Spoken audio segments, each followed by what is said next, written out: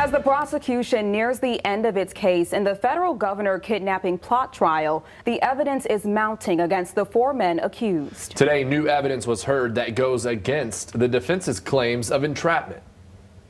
A jailhouse phone call recording played in court Tuesday could pose big problems for the defense in the trial of the four men accused of plotting to kidnap Michigan Governor Gretchen Whitmer.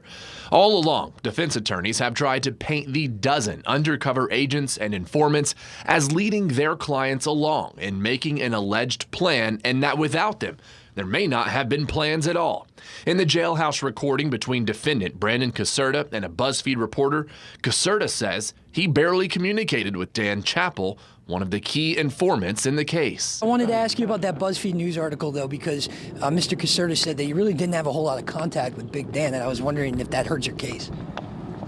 No, what my client said is nobody told him about any kidnapping, right? That's what he said. Did that jail call hurt you guys? No, it helped. Did you, did you know about How? it? Yeah, I knew about it, of course. How would it help? He said he, he wasn't part of any kidnapping. Well, Never it certainly doesn't about sound like he wasn't entrapped by Dan. So far, I haven't heard that he uh, was part of any agreement to kidnap.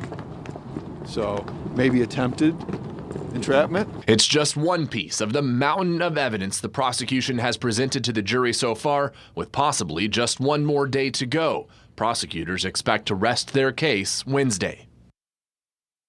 17 has been covering this trial since the beginning, and you can find all of our stories in one place by scanning that QR code on your screen. The website includes in-depth coverage of testimony and analysis from legal experts.